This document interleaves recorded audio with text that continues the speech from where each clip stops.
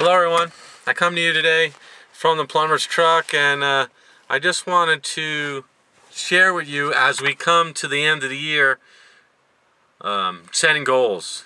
I don't know if you've listened to my videos and, and heard me talk about it before, but uh, setting goals, daily goals, yearly goals, monthly goals are very important in life and um, I did that this year and I set a list of goals and I don't know if you can see this, I don't know if it'll come out clear, um, but I did post them on my blog, and um,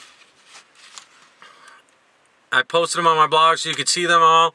And I'm going to bring to you uh, a bunch of videos to talk about it and see where I was and, you know, just let you know my loop. So um, look forward to sharing all the stories of my goal videos, my goals with you on video, excuse me, um, throughout this year over the next uh, 10 days. All right?